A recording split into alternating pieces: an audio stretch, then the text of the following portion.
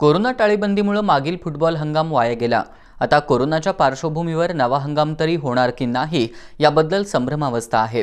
के S एनं या संदर्भात आपली भूमिका स्पष्ट करावी अशी मागणी कोल्हापूर शहर आणि जिल्हा नागरिक कृती समितीनं केली आहे. समितीच्या वतीनं के एस एचे अध्यक्ष मालोजीराजे छत्रपती यांना निवेदन देण्यात आलं.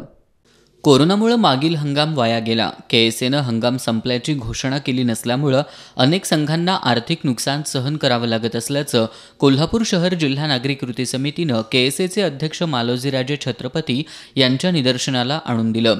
सन दोन हजार एकोणीस वीसमधील संघांचे आणि खेळाडूंचे रजिस्ट्रेशन गृहीत धरून संघांना दोन हजार वीस एकवीसच्या लीग स्पर्धेत सहभागी होण्याची संधी के एस एनं उपलब्ध करून द्यावी अशी मागणीही शिष्टमंडळानं मालोजीराजे छत्रपती यांच्याकडे केली.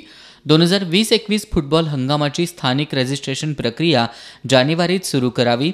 रजिस्ट्रेशन सुरू होण्यापूर्वी पंचेचाळीस दिवस आधी त्याचा सर्व तपशील जाहीर करावा. दहा जून दोन हजार वीसपर्यंतचा फुटबॉल हंगाम के एस एनं जाहीर करावा. ए डिव्हिजनच्या सोळा संघांबरोबरच के एस एनं समन्वय साधून कोल्हापूर जिल्ह्यातील फुटबॉल खेळाडूंचं रजिस्ट्रेशन संदर्भात प्रबोधन करावं आदी मागण्यांचं निवेदन समितीच्या वतीनं मालोजीराजे छत्रपती यांना देण्यात आलं. यावेळी खेळाडूंचं आणि संघांचं नुकसान होणार नाही याची खबरदारी घेतली जाईल अशी ग्वाही मालोजीराजे छत्रपती यांनी शिष्टमंडळाला दिली.